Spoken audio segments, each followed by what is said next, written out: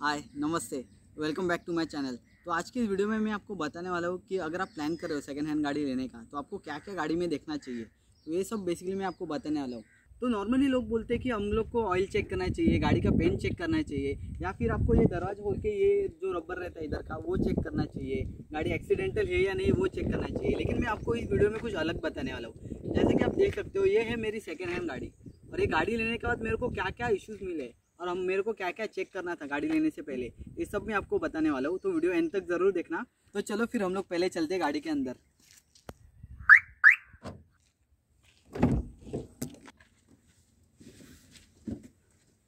पहले हम लोग को गाड़ी के अंदर चेक करना है कि ये अपना हैंड ब्रेक चल रहा है या नहीं।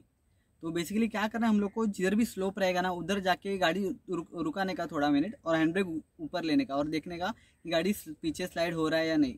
तो एक पहली इंपॉर्टेंट चीज़ है जो चेक करना है, जो मैंने चेक नहीं किया और बाद में मेरे को फटका पड़ा, बहुत बड़ा। तो उसके बाद हम लोग को चेक करना है कि गाड़ी के अंदर जितने भी इंडिकेशन आते हैं इधर, ये सब चल रहे हैं या नहीं बराबर से। अगर ये आपका हैंड ब्रेक ऊपर है, इसलिए देखो ये इधर आ गया मैं अभी हैंड ब्रेक नीचे करता हूँ तो ये देखो पार्किंग का थोड़ा लाइट हो गया है। देखो, फिर से ऊपर करता हूँ तो डार्क होगा। ये देखो तो ये सब हम लोग को चेक करना है। उसके बाद ये नीचे आपको सब एसी के बटन दिख रहे हैं, ये भी आपको चेक करना है कि ये सब चल रहे हैं या नहीं। तो ये दोनों आपको गाड़ी के अंदर सब चेक करना है। तो जब आप गाड़ी देखने जाओगे तो आपको ये चीज़ ज़रूर करना है। आपको डिक्की खोलने का है और फिर ये जो स्पीकर है, दो, वो दोनों आपको चेक करना है कि ये ये दोनों स्पीकर से आवाज़ आ रहा है या नहीं। तो ये मैंने गलती की थी, मैंने ये स्पीकर चेक नहीं किया था और बाद में ये स्पीकर्स का मेरे को बहुत बड़ा फटका गिरा था। तो मैं आपको सब प्राइस बताने वाला मेरे को कितना खर्चा गिरा और मैंने गाड़ी कितने में लिया। तो वीडियो एंड तक ज़रूर देखना। तो उसके बाद आते हैं हम लोग गाड़ी के महत्वपूर्ण विभाग में, जिसको हम लोग बोलते हैं टायर्स। तो ये बेसिकली आप देख सकते हो, ये है पीछे का टायर। तो गाड़ी लेने लेते वक्त मैंने ये चेक नहीं किया था कि ये टायर सब बराबर है, सब चेक किया था मैंने। लेकिन हम लोग के पास रहता है ब्रेक सिलेंडर तो ये टायर का ब्रेक सिलेंडर जो है, वो लीक हो रहा था। और ये आप इजीली मालूम कर सकते हैं, क्योंकि ये जो वाइट आपको दिख रहा है, वो पूरा ब्लैक हो गया था ऑयल की वजह से।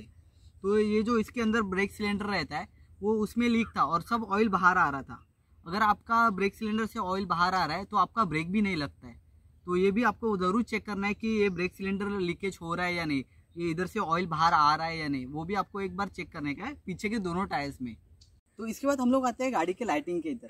तो आप जब गाड़ी लेने जाओगे तो आपको ये ज़रूर देखना है कि इसका हेडलाइट्स इसके जो ब्रेक लाइट्स है और इसके जो सिग्नल्स है, वो बराबर से चल रहे हैं या नहीं। तो जब मैंने गाड़ी लिया था तो जैसे कि आप देख सकते हैं कि अभी जो सिग्नल ब्लिंक हो रहा है, वो जब मैंने लिया था तब तो ये ब्लिंक नहीं हो रहा था।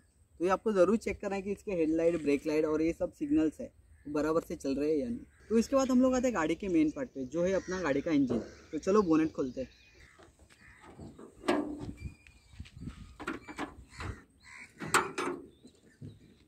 जैसे कि आप देख सकते हैं, ये है पावर स्टेयरिंग का ऑयल तो ये जो ऑयल है तो ये लीक हो रहा था।